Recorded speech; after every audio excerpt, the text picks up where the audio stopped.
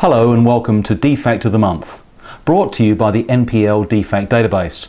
My name's Bob Willis and each month we'll look at process defects that you might see during manufacture.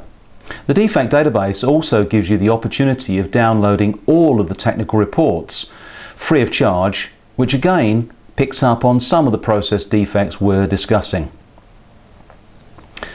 This month we're going to look at damage to plated through holes. Now in realistic terms it's unusual to have damage to plated through holes these days.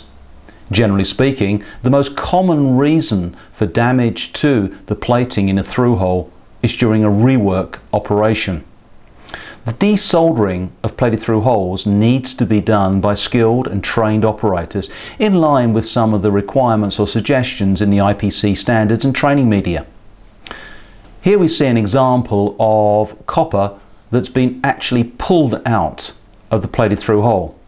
And the reason this has occurred is through poor control of the desoldering process.